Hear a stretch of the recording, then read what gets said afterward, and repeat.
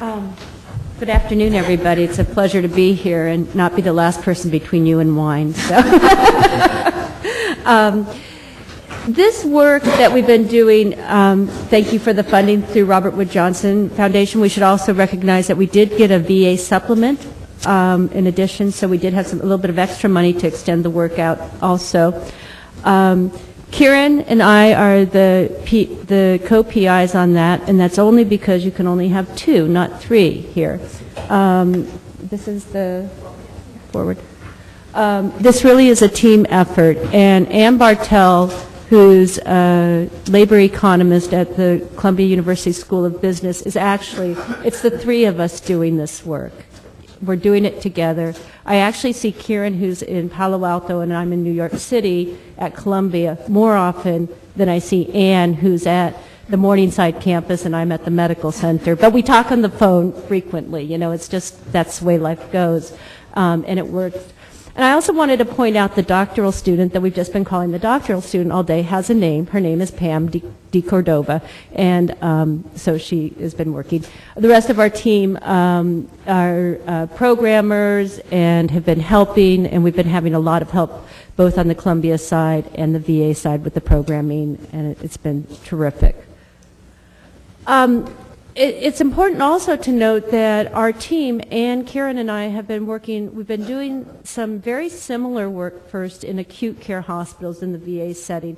This was a pre-INQRI um, Robert Wood Johnson Foundation study that we're doing, and yes, the papers are coming. they are being submitted soon. Um, we've been working on this for quite a while. Um, and we have been looking and, and using this longitudinal database um, from a, the VA, the full VA sample. we we're looking at long-term care here, and we're going to be presenting this long-term care work, but we've also done this in the acute care. Um, and we're looking at human capital. Uh, I like to say that I taught Ann about hospital care and JCAHO. She didn't know anything about that. And she taught me the theory of human capital and um, relational capital and general capital. And, um, but we've been looking at these different variables of human capital as well as staffing level. So it's just it's going beyond just what the level of the nurse is um, and how many nurses there are to looking at the characteristics. We're not getting into the process indicators because we're using large data sets, but clearly there's processes that happen when we have certain things in place. Um, the, you know, the using the VA data, um, Ciaran's going to be talking about uh, the data sets and the actual variables that we've conducted, uh, uh, have uh, developed. But we really needed to have a very large uh, setting um, and that codes the data to the most, you know, as well as anybody does across the country in the, using the same uh, algorithms. Um, and it really reduces the variation due to the organi organizational differences by having this common data set um, in these different settings. So um, with that, I'm going to give it over to Ciaran to talk about our variables on nurse staffing. Well, the, um, I mean, for those of you familiar, one of the advantages of the VA is that we do have an integrated patient record and everything gets sucked out, sucked out of it into these data sets. So we have some really good data, and it's not just the medical record. There's the the DSS system, which is there. For those of you in the private sector, this is the Eclipsys management accounting system. And um, from that, we're able to pull out the data on the staffing at each unit with some degree of detail. We have the number of hours of each type of labor, and it's hours worked, the vacation and sick time and holiday time is pulled out of it. But I will, I do want to make clear that the hours that we have here are not productive on the patient. If you were, if the, a nurse comes into work and is sent off to a training, that's hours worked, and that's included in this. So there's a little bit of noise in here, but we've pulled out a lot of the noise compared to other systems where they're just looking at, you know, how many hours did you pay a nurse as opposed to the bedside. So we have for looking at big secondary data, I think we have quite good data. And the hours are adjusted um, for con- we do they do track contract hours, uh, contract nurse hours that are working in each unit as well. So we've got pretty good data on that.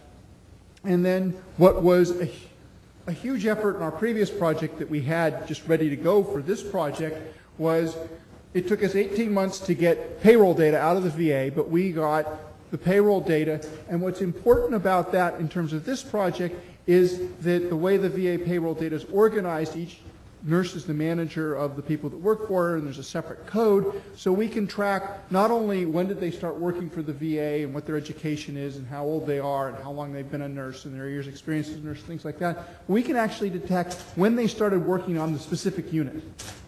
So that you have um, not just, you have how long they've been working as part of that particular care team, if you will.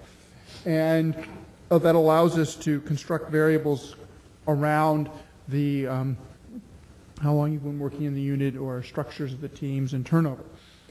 Um, and then the VA has lots of different patient data systems. We have uh, the VA creates a discharge abstract for with patient diagnoses for each type of unit you stay on, and um, they have their version of the Medicare minimum data set, and um, they also track patient movement across, you know, hour, minute, day for when each patient showed up on each unit when they got moved to other units.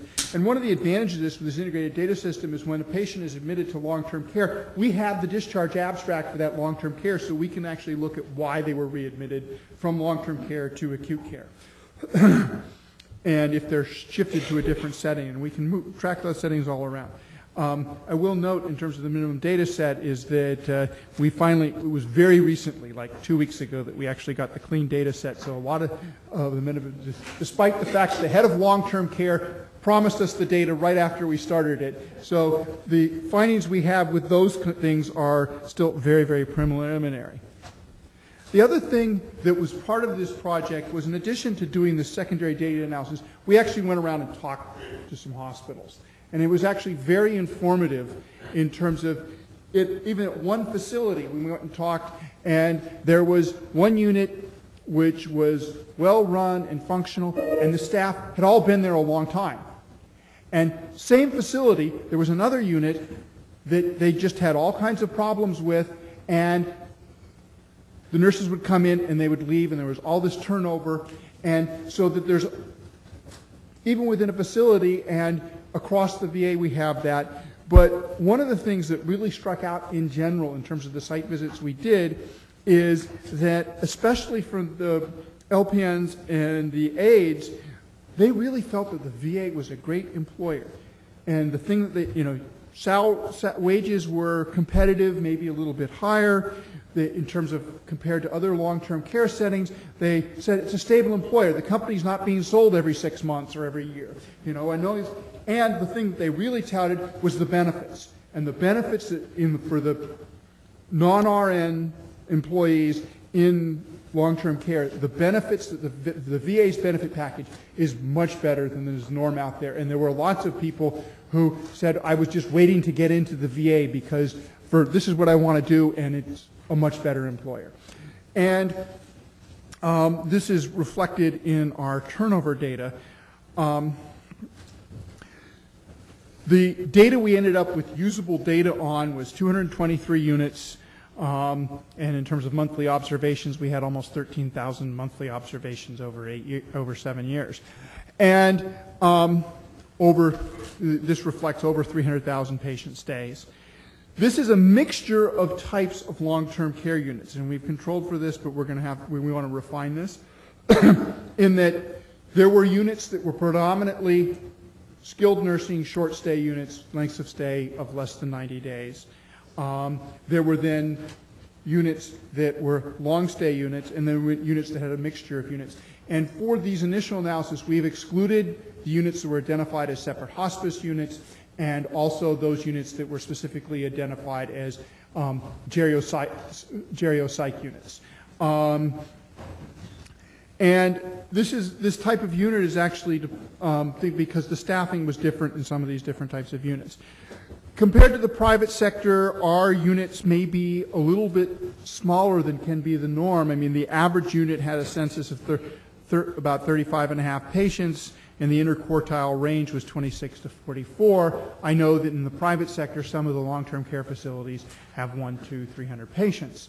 Um, some of them, not all of them, but, but a lot of them tend to be a lot bigger than this. So that's another way that we're different, and we, as we start to uh, disseminate our findings, we're going to have to be very cognizant of these differences um, because the VA is somewhat different.